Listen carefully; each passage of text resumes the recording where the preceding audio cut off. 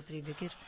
Pyetja e parë në këtë, do thotë, cikël të pyetjeve kemi një situatë mjaft problematike dhe mjaft shqetësuese në përgjithësi, do thotë, edhe pse kjo nuk do thotë që është katastrofa apo kiamet. Mirëpo tregon tregon deri në çfarë niveli do thotë ka ardhur deri te prishja e rinisë sonë, do thotë kemi një pyetje e një motre e cila pyet për shumë martesa, martesa e vajzës që nuk është e virgjër a është mëkat. S'ka dyshim se do thotë marrëdhëniet intime jashtë kurorës së martesës janë mëkate të mëdha. Edhe besimtari, qoftë mashkull apo femër, duhet t'u largohet atyre tërësisht. Duhet t'u largohet edhe shkaqeve që i paraprijnë atyre gjërave. Thotë Allahu në Kur'an: "Wala taqrabu zina",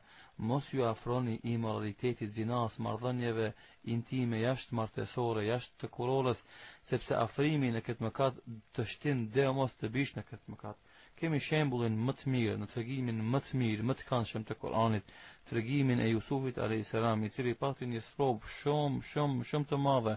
me gruan e mbretit të Egjiptit, që ajo e mbylli në në, në dhomën e saj dhe ia imponoi të Ketë marrëdhënie me të mirëpo ai refuzoi dhe tha meadhallah, Zoti m'rujt, Zoti m'rujt, se kjo është gabim shumë i madh, dhe Allahu e mbrojti nga rënia në flagrancë në gabim,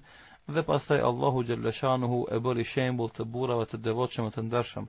andaj i thrras të gjithë djemtë dhe vajzat e reja. të mbrojnë nderin e tyre, të luftojnë për nderin e tyre, të ruhen mos bëjnë gabime në rini, zakonisht në kohën e adoleshencës dhe kur njerëzit nuk janë aq të vetëdijshëm dhe nuk mund ta kontrollojnë veten sa duhet, e bëjnë këtë gabim i cili pastaj i përcjell ndoshta edhe ditët e ardhshme, po edhe nëse arrin të martohet lindin probleme pas probleme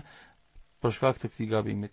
Mirëpo nëse dikush ka bërë çka ka bërë në të kaluarën, nuk i ka ditur rregullat, ka jetuar në një rreth ku ka patur injorancë fetare, e pas një kohe ka ra n'një shoqëri të mirë dhe i ka mësuar rregullat dhe është penduar thellësisht për këtë gabim,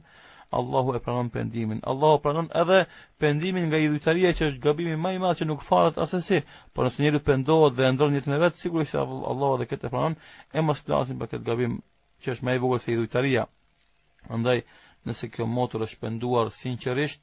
nuk ka kurrnjëfarë problemi të martohet domethënë, edhe pse ka bë këtë gabim më herët,